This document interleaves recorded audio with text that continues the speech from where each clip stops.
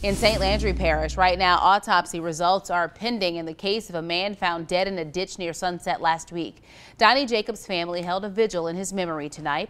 The sheriff's office says it doesn't have enough evidence yet to make any arrest in this case, but Jacobs' family says they're not giving up. We're not going away. We're going to become louder if they continue to walk the streets free until they're brought to justice. And I will be there at every particular point until they're brought to the place where they need to be, and that is prison.